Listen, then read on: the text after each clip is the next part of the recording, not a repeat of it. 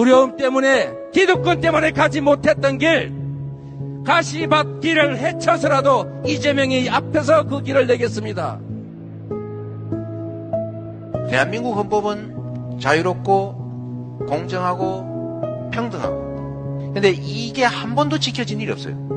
그 뿌리야 우리가 당하는 바대로 일본에 부역하고 나라 팔아먹고 처벌이나 청산은커녕 대한민국 지배 세력으로 싹 옷을 갈아입고 들어와서 지금까지 각 모든 영역에서 대한민국을 지배하고 있습니다. 조선 건국 이래로 600년 동안 우리는 권력에 맞서서 권력을 한 번도 바꾸지 못했다.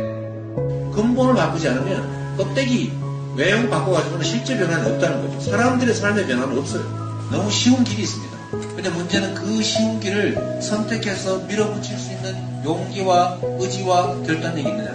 우리 사회 강자들하고 싸울 용기를 말하는 겁니다. 권력에 대들었다가 피해보지 않을까 하는 두려움. 이 두려움이라고 하는 것을 깨자. 우리 도민들을 위해 써야 될 많은 시간들을 소모했다는 생각이 들어서 우리 도민들께는 정말로 죄송하다는 생각밖에 더 들지가 않습니다. 제 모든 열정, 제 모든 시간을 우리 도정 그리고 우리 도민들의 삶에 바치도록 하겠습니다. 진심으로 감사드립니다. 조선일보는 민주당 경선과 대한민국 대통령 선거에서 손을 떼세요. 정치 개입하지 마십시오. 그 선거에 영향을 주려고 일부러 가짜뉴스 만들어가지고 뿌리는 거 아닙니까? 아, 누가 그래요? 저보고 두려움이 없는 겁이 것처럼 없는 거 아니냐 라는 네. 얘기를 하는데 저도 똑같은 인간이고 두렵지요. 두렵고 다만 그 두려움을 이기기 위해서 노력하고 어, 또 포기하지 않아요. 우리를 기다리는 많은 사람들이 있습니다.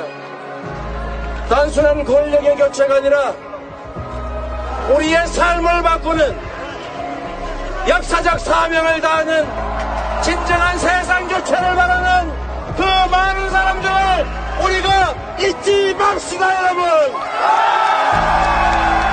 국민 여러분께서 제게 기회를 주시면 공직은 누리는 자리가 아니라 일하는 자리임을 보여드리겠습니다 이재명은 여러분을 대표하는 사람이 아니라 여러분 각자가 가진 꿈을 대신 실현해주는 도구일 뿐입니다.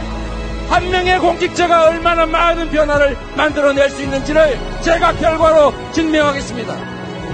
우리가 단순히 이기기 위해서가 아니라 그 수없이 많은 사람들의 그 안타까움을 그 꿈을 이루기 위해서 싸우고 있는 것입니다. 이제 시작입니다.